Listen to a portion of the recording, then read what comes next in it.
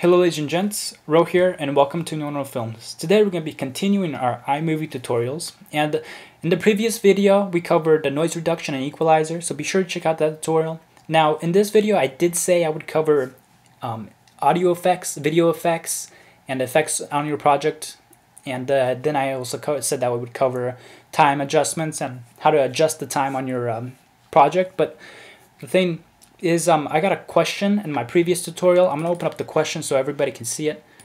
And it's it was by Glossy Glitters 101. I'm having this problem where after I edit my videos, I got to share it so I can upload it, but nothing happens. Any help, please? So I'm hoping in this tutorial, we're going to take a break from the going through. I'm going to open iMovie.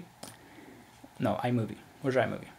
There we are. I'm going to open up iMovie and here's my project and uh, we're going to take a break from the adjustments menu and we're to go after we're to go straight into how to upload. Let's say you already created an awesome project and you want to upload it and publish it and export it straight to YouTube.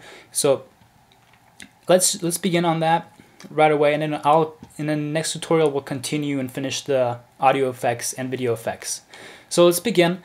The, in order to upload or export your video, you're to go up, always go up to this share and you simply select share and you can select see where you want to share. You can share itunes email straight to your email facebook vimeo which i've never heard of and cnn i report. I don't really know how that works. The main two i work use is youtube and, I, and file. Though actually the main one i use is file.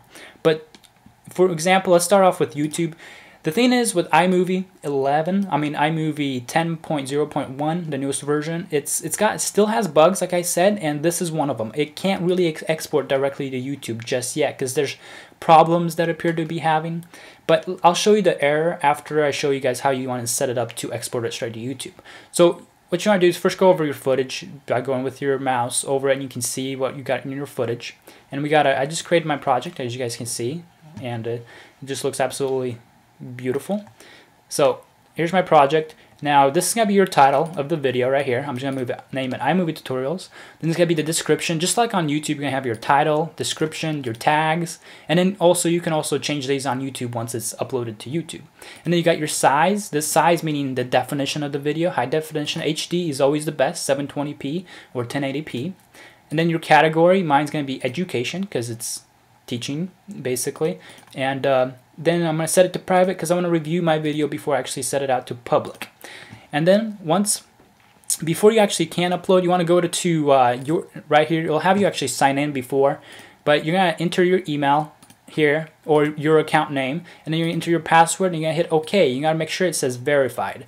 And if it goes lets you go through the next screen, that means it is connected, the account. Then all you have to do is simply hit next and agree to the YouTube terms of service and it will actually upload straight to your YouTube channel. But the thing is, the thing is before I go on, iMovie, it doesn't, at the moment, it doesn't seem to support it. At least for me, I'm not sure if I'm the only one having a problem with this, but it will actually stop. It will, this is your progress bar before I go on. Right here, this is how you know that uh, the video is being uploaded or it's being processed to upload.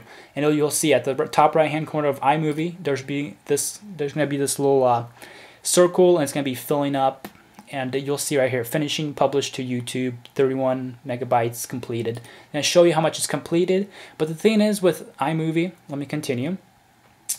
You'll see in just a moment I'm gonna get an error meaning that it was unable to be published when I gave it the all info it says share failed. The share operation YouTube I've Clips has failed and you can view details and this is the share operation has failed. And this happens on all my accounts. I don't know why so I'm I just assumed that it, something's wrong with iMovie and it just won't let me upload straight to YouTube. So the way I go around that and I've actually been doing this because the way through this option ever since the old iMovie as well just because sometimes uh, iMovie it doesn't let you upload uh, videos that are longer than 10 minutes when you actually have partnership with YouTube and uh, they actually YouTube now allows you to upload longer than 10 minutes. So iMovie just doesn't correspond to that. So the way you want to go around that all those those uh, iMovie uh, adjustments and just just have the video. So you want to just completely export the video the best way to do it, it's an extra step, but it actually gives you the video. So what we're trying to do, instead of go to publish straight to YouTube, you're to go to File.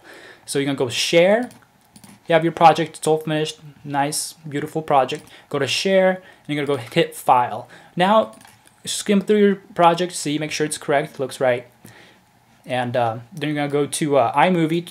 I mean, you're gonna put in the title of the video, and you don't have to really worry about the description because you'll change that when you upload it to YouTube.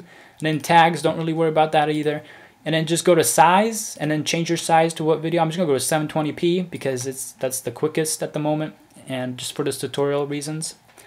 And uh, then you don't have to worry about signing on into anything. Then you just hit next and now it's gonna ask you where you want to export it into. So it, save as iMovie tutorials, that's the title.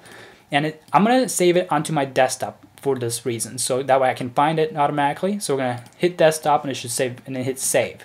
Now you'll see this progress bar at the top right hand corner of iMovie once again and it says transcoding iMovie tutorials and mine's going to go pretty quickly because mine's only 14 second video so it's going to go directly to my desktop after it's done and it should actually open up the movie file after it's finished and you'll see the example of that in just one moment. But if you have a really long movie, let's say maybe 10 minutes, it will take a little bit longer. You'll see it right here, transcoding, and it will it, it should work fine. You see, it just finished. There we are. It gave me a little not notification. Share successful. Share file was successful. So now it's on my desktop. And here's the video right here. I can play it and go through it and actually see it before.